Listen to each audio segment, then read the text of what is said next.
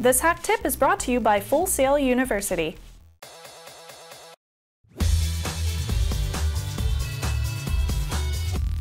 Welcome to HakTip, the show where we break down concepts, tools, and techniques for hackers, gurus, and IT ninjas.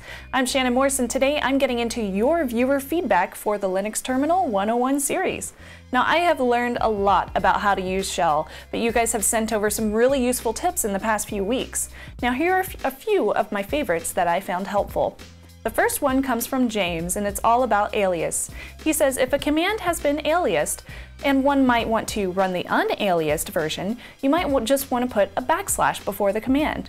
For example, his command is alias ls equals ls tac l.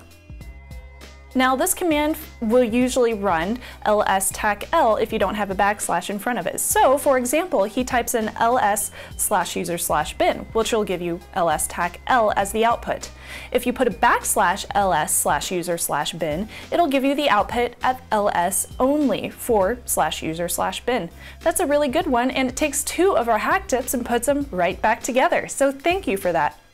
Meek says, I wanted to say you guys had a clever hack with your expansions to include the leading zero in the months and years. But you can also do something like this. You can say simply, bracket, 0, 1, all the way to 31 with another bracket. Now note the leading zero in front of the 1 in 0, 1. That will force a leading zero on all of the numbers to match. You could also say something like 001 all the way to 009. Say, were you listing the secret agents in MI6? Haha, good one, Mink. Also, couldn't you use expansion to describe the files to delete uh, RM? Yeah, that's a good point too. Good one. Now Matthew writes in, there's a cute little Easter egg in all of the Linux distros. If you press Alt and F2 for the run prompt and type in free the fish, let's try this. Alt, F2, free the fish. Uh-oh, there is no Easter egg in Unity. Well, let's see what he said. He said this little fish is going to swim around the screen, and he likes to call him Steve. And he'll run away when you click on him. The funny thing is, the fish cannot be turned off without restarting the distro and he very much enjoys Steve's company while working. Now unfortunately Wanda was removed in 1110, that's a Wanda the fish, when Ubuntu switched over from GNOME to Unity, but you can get her back and I have instructions in the show notes. Now we'll be right back with some more of your tips, but here's a word from our sponsor.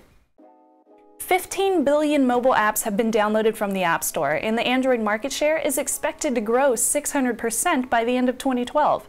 You know that the mobile app industry is on fire right now, and Full Sail University's online mobile development bachelor's degree program can teach you the skill set that you need to take advantage of those emerging opportunities.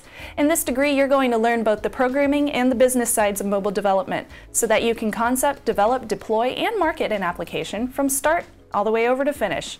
You'll explore advanced programming languages, visual frameworks, usability principles, and app deployment for iOS and Android operating systems. Through Full Sail University's Project Launchbox program, students receive a MacBook Pro preloaded with industry software, plus iOS and Android devices. Courses are delivered through Full Sail's immersive online education platform, which maximizes the capabilities of the Mac, giving you a learning experience unlike any other. Between the App Store and Google's Play Store, over 50 billion apps have been downloaded with no signs of slowing down. If you're ready to master the technology and software to compete in this rapidly growing industry and you want to support HakTip, go to fullsail.edu slash hacktip to learn more about this online degree program. And we're back with more of your viewer feedback and tips.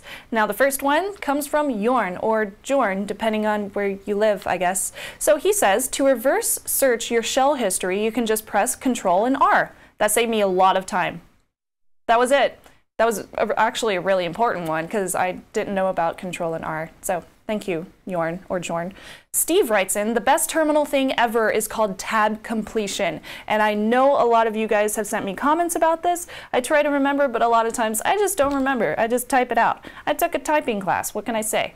My students rarely seem to use it, but it saves so much typing and it prevents so many typos. So when his students are slowly typing out something like vim slash etsy slash sysconfig slash uh, network. Yeah, anyway, you get the point. He just wants to take the keyboard and slam it with them. No, I'm just kidding. He just wants to take the keyboard from them and just type in vim, et tab, sys tab, any tab, s tab, if tab, e tab. Anyway, basically just type in tab and have it complete the entire thing for them. Now you guys have sent in some really great tips and feedback and keep them coming. I hope that they help out some viewers as well. Thanks to everyone who has been sending feedback over for our Linux Terminal 101 series. I've really enjoyed learning what I have and thank you because I've learned plenty from you as well. I'll share a few of my favorite resources very soon. Now make sure to email me tips at hak5.org with your thoughts or you can comment below and be sure to check out our sister show Hak5 for more great stuff just like this. I'll be there reminding you to trust your Technolust.